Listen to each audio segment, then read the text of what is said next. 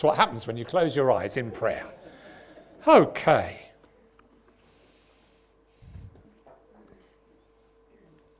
Good. Just going to do the, the unforgivable. No church meeting. It's a change of, change of piece of equipment. Uh, so that's what my brief is today. Looking at how we do worship uh, outside and uh, inside and what worship actually means, etc. It's up there on screen. That's what we're going to be trying to do today. Except that I've got some different questions because that's me. So I'm going to just share some questions with you, and I think. Oh, okay. Press really hard, he said, to get it to go back.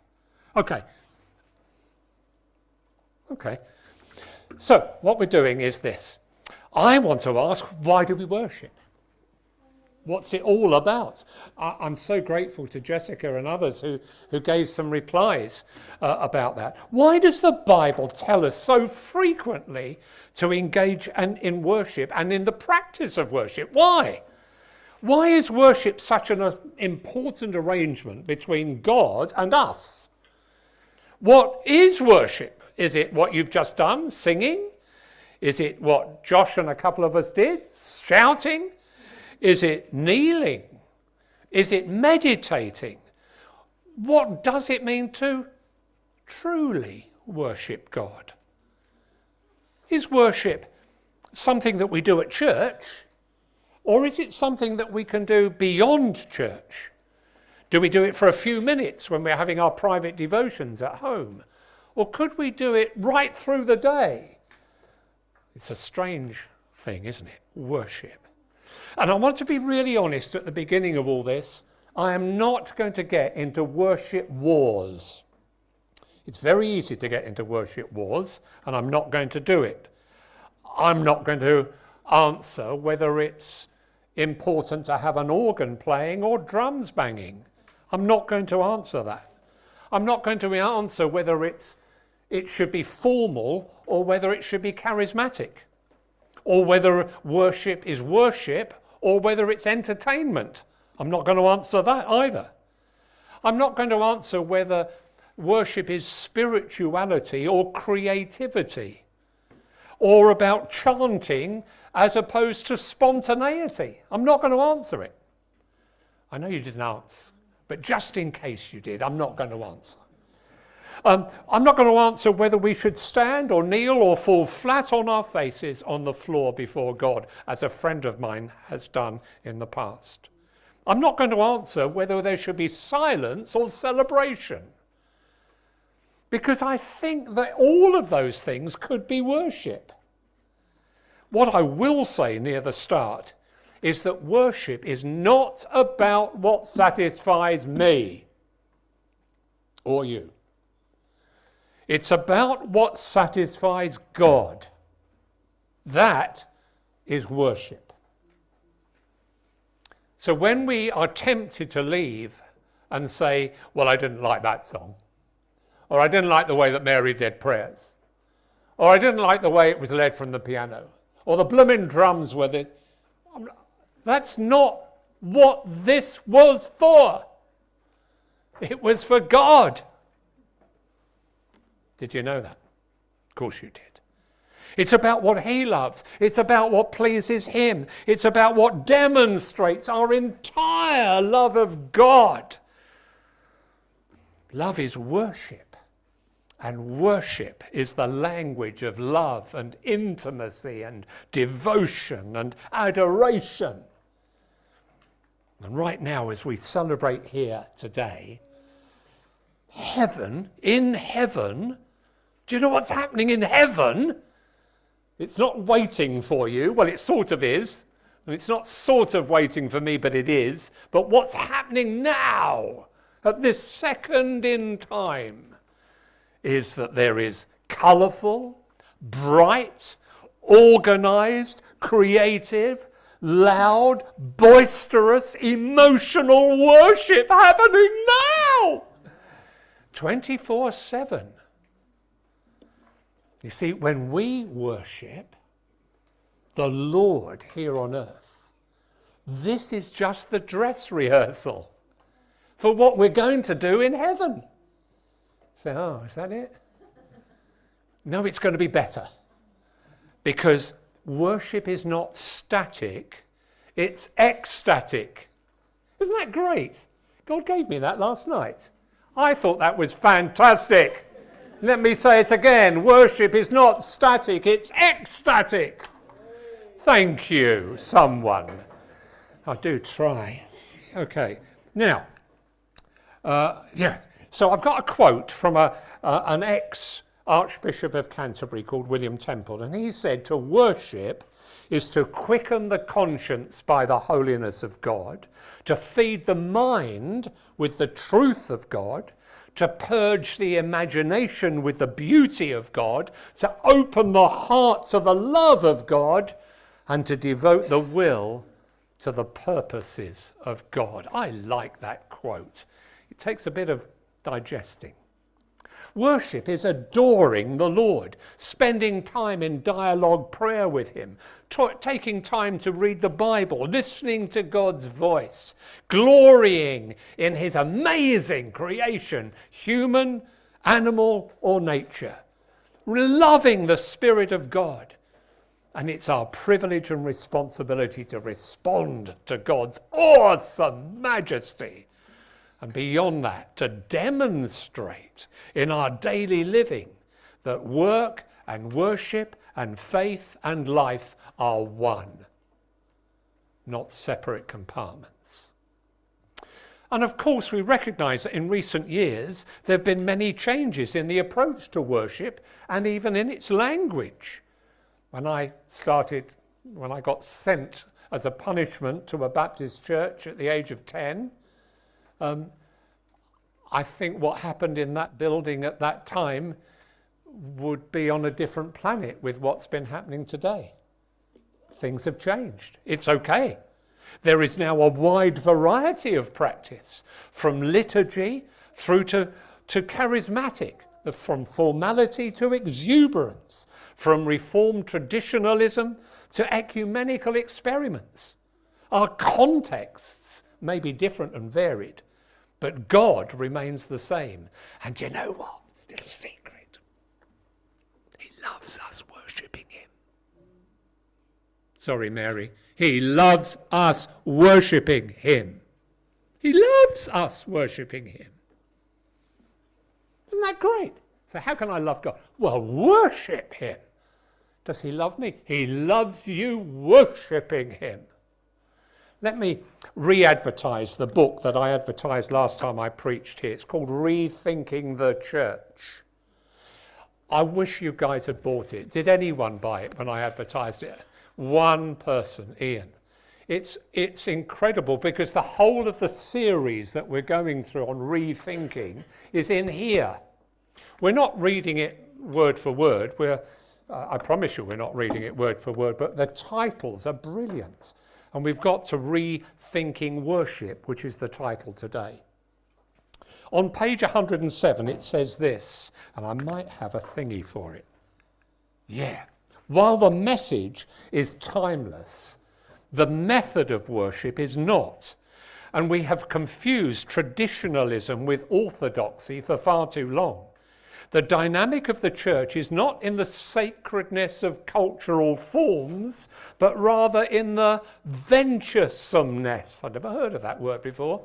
The venturesomeness of participating with God in the transformation of contemporary forms to serve more adequately as vehicles for God's interactions with his human beings. It moves on. It's not static, it's ecstatic.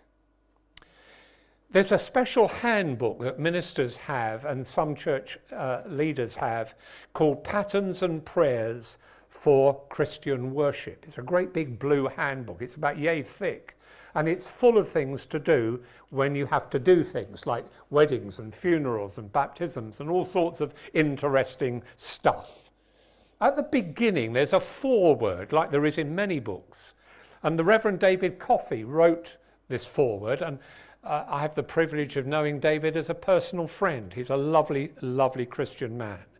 And he writes this Through Christian worship, we are summoned to meet with God, the God who gives us life, the God who sets us free from sin, the God who transforms us into the likeness of Christ, the God who calls us to witness to a broken world, and the God who empowers us to look for the coming King of Kings and the Lord of Lords. He goes on, in worship, we gather as disciples of Jesus. We open ourselves to the power of the Holy Spirit. We offer all that we are and might be to the God of all hope.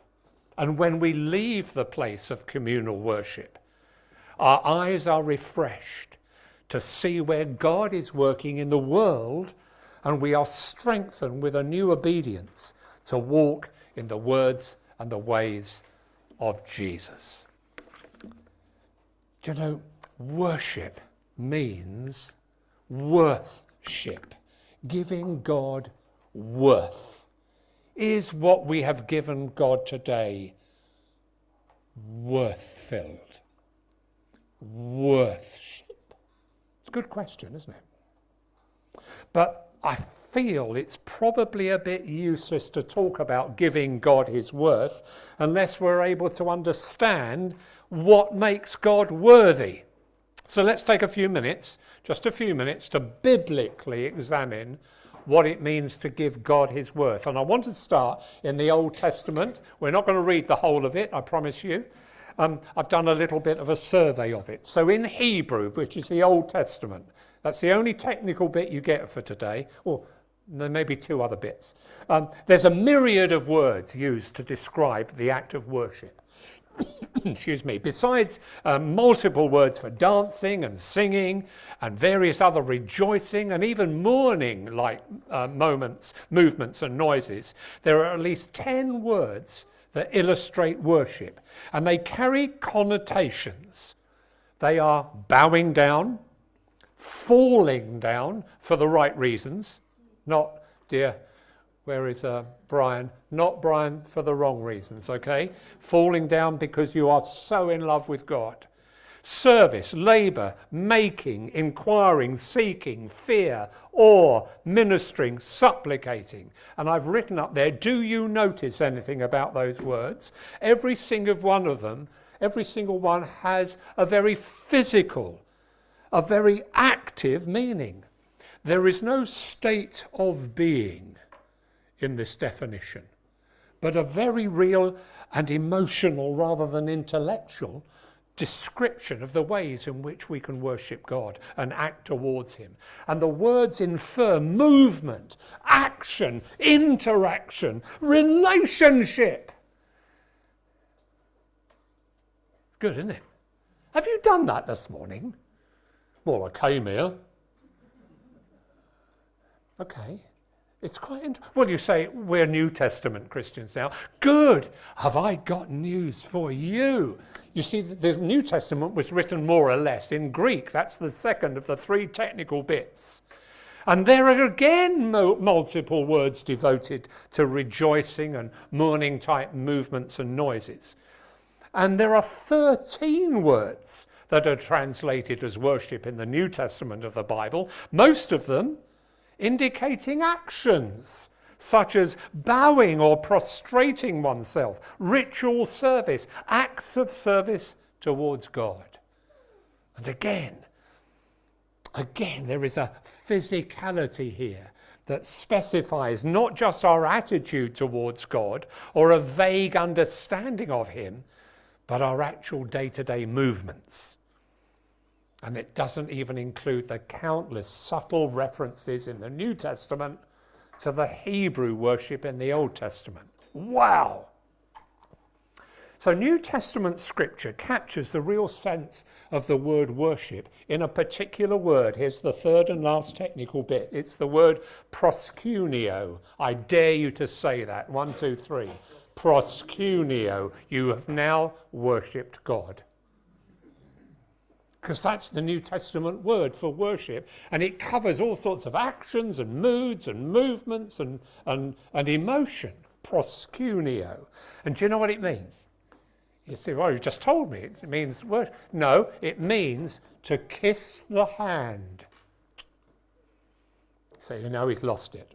No, I haven't lost it. I'm telling you what it means. And I'm going to give you a picture that you may be very, very familiar with to describe worship. Here we go. It's the scene where a man stands outside his girlfriend's window singing a serenade for the whole world to hear. Have you got that picture? I know you want to say Romeo and Juliet. Um, whatever. And he doesn't give the slightest care what others think. He only knows that all the affection bubbling up in his heart can no longer be contained. It's got to be set free. And as he unashamedly looks for the best expression of what he's feeling, he suddenly begins kissing his hands and throwing them towards the one he loves. Go on, I dare you to do it. One, two, three. You did it! I love you. You see, it doesn't matter what anyone else thinks of him. He has to let that emotion out because he's in love with someone else. We have to let our emotion out when we're in love with the God who loved us before we loved him. It's the type of adoration and devotion in worship that Jesus described to a lady one day when he met her by the well. And there was a, an interaction together and she asked him some technical questions, and he gave one non technical reply. He said, Those who worship God must worship him in spirit and in truth. That was it, that was the answer. So the next time you're at the kitchen tap, you can remember that because we don't have a well.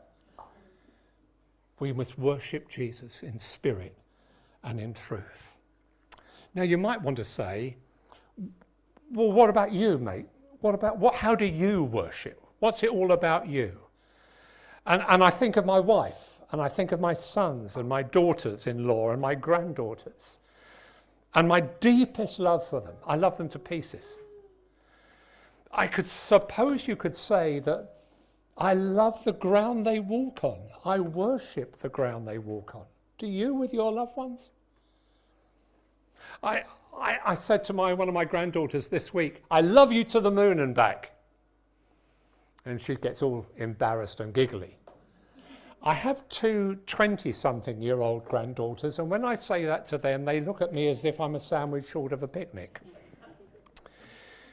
So, how do I consider worship? Well, I, when I worship, I enter a realm, do you? I enter a realm of pure adoration of utter devotion, of unending praise and thanksgiving, of resplendent majesty, of utter wonder and total gratitude and sacrificial joy. Do you want me to go on? It's, it, it, it happens. It never used to. You see, when I joined the Baptist church at the age of 10, and I'm now 29, sorry, you must have misheard it. Um, uh, there was no sense of that. We stood up, we sang, we sat, we bowed our head when Mary led us in. Oh, sorry, Mary wasn't there. When Mary led us in prayer. Um, you would have been. Yeah, that's true. Yeah, you're just different place.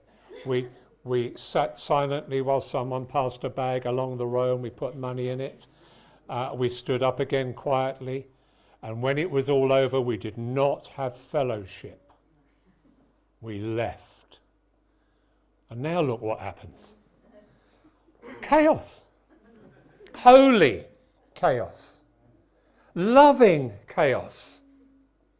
Godly chaos. You see, I use scripture in my worship. I use Christian prayers, some of which are written down which are very helpful. I use lots of the Psalms. I tune into YouTube Christian songs and I listen to them. And, and in the privacy of my room, I can groan and sing to my heart's content. I use Celtic Christian prayers. I use some traditional hymns. I occasionally look at art and nature and wonder at the presence and joy of God. All of those things have added weight and meaning and depth and movement and vision and emotion and truth and love to the worship that I bring to God. How about you? Is this foreign? It shouldn't be. But it only happened when I got filled with God the Holy Spirit. Until that moment, I just went through the motions. And then God filled me with His love and His presence and His power. And suddenly, all that singing, all that standing up, all that passing the bag along the row, and all the rest of it suddenly came to life. Do I hear a hallelujah in here? I thought I might, possibly. You see, also, we're nearly at the end, by the way. Spiritual uh, um, worship is also a form of spiritual warfare. I read in the Old Testament that when Joshua was told to take the city of Jericho, it was impregnable, it wasn't possible. But God told him what to do send an army round and round the, the, the city for seven long days and sing to the glory of God. And that's what they did. And as on the last day they sang seven times more than they'd ever sung before, and the walls be disintegrated. Spiritual warfare is part of worship, and worship is part of spiritual warfare. You say, Stu, that's the Old Testament. Well, okay, in the New Testament, in Acts chapter 16, there were two guys called Paul and Silas, and they were missionaries. They were apostles, they were missionaries, and they'd been missionarying. Uh, and uh, uh, and they got arrested and they got thrown into prison. But before they got thrown into prison, and literally thrown into prison, uh, they were stripped, they were beaten, they were flogged, and then they were put in stocks with their feet. And it says this in Acts chapter 16. I haven't got the verse, but I, I, I'm going to quote. Uh, here we go. About midnight, Paul and Silas were screaming their heads off in pain and moaning and shouting about all the. Hang on a minute. No, it doesn't say that. It says, About midnight, Paul and Silas were praying and singing hymns to God, and the other prisoners were listening. And as you read further into that chapter, at the end of all that praising and worship, a mighty miracle occurs, and Paul and Silas and others are released from prison in a miracle. Spiritual warfare in worship. Now, as incredible as any of this might sound, God gave us the ultimate, the ultimate example of worship by laying down his life through Jesus. Christ's death on the cross is the quintessential act of worship. It's an ardent display of uh, devotion, an expression of love beyond question. It's utter abandonment beyond all proportions. It's a kiss from God's hand to us. The Bible says mercy and truth have met together righteousness and peace have kissed. In Christ and his sacrifice, we see something truly worthy of our worship. Look what happens in the New Testament when folk are asking, What do we do when we come to church? Look what this word says. It says, when you come to bro- together, brothers and sisters, each one has a hymn, a lesson, a revelation, a tongue, or an interpretation. Let all things be done for building up. Well, Liz, where are you? What would happen if we did that this morning? That there was no order of service because we were going to do what the scripture told us to do when we came to worship. That would give you a shock, wouldn't it? It would give Ian a total headache because he spends hours getting things ready. So, may I politely ask you, and I do mean politely, if your knowledge and experience of Christian worship is only cerebral, head, just head and brain engaged, or Is it just emotional, just soul and feelings engaged? Or is it a mixture, a godly mixture, a healthy mixture of both? Because true, rich worship involves our whole beings body, soul, and spirit. Two young newlyweds were preparing for their very first roast dinner. I've got a picture, but it's not quite what I really wanted. But if your mouth is now watering, so is mine. They were going to prepare their very first roast dinner on their first Sunday as a married couple. Uh, in, their, in their apartment. And on, after unwrapping the meat and setting it on the cutting board, the wife chopped the ends off and threw them in the bin. And uh, the husband said, Hang on a minute, what are you doing? Why have you cut the ends off and thrown them in the bin? Why did you do that? And, and the lady said to her husband, Well, I don't know. My mum always did that. I suppose it brings out the flavour. So the husband wasn't satisfied with that, and he went in the other room and he phoned the mother in law, which is always dangerous. If you are a mother in law, thank you, God bless you. Um, and, he, and he said down the phone, Can you tell me why you cut the two ends off the meat before you, before you cook it? And the mum said, Well, I'm not really sure. Um, it was the way my mum did it. Um, and it was always delicious. And, and that was the end of the call. Well, the husband was a pain. Uh, he phoned the grandma. And he said, Grandma, um, I've got a really important question for you. You know, when you're cooking meat, can you tell us why you cut the ends off the joint before you cook it? I, I can't do the voice of the grandma, please excuse me. But she went, Oh, yes, my dear. Um, I cut the ends off the joint so it would fit in the pan.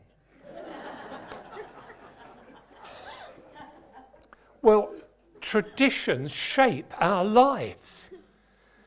But it's important to know why we do them. Because we've always done it that way doesn't provide enough meaning to keep our traditions from becoming stale or static or meaningless. meaningless we may have received our worship traditions from our great grandparents. But for us to offer authentic worship, we want to understand the meaning behind the traditions. Jesus urged his followers to worship in spirit and in truth. And if worship seems lifeless or dull, perhaps we're just going through the motions instead of being empowered by God, the Holy Spirit. You have been a very patient and wonderful congregation today, and we've got 15 minutes before we ever have to go and do something else here in this building. So I want to thank you. I want to remind you that God welcomes fresh and creative approaches to serving Him. He always wants to use us.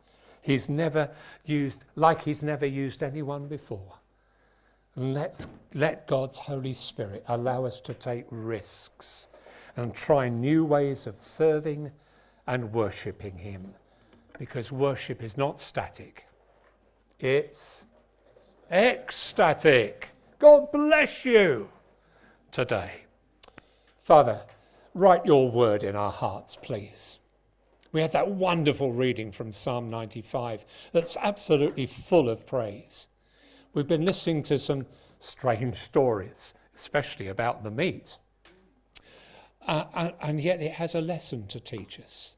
Please let us not get stagnant with our styles of worship and have the courage, like the man loving his lovely wife, kissing, kissing, and expressing and loving in fresh ways even if the kids think it's embarrassing. In Jesus' name, amen. We've got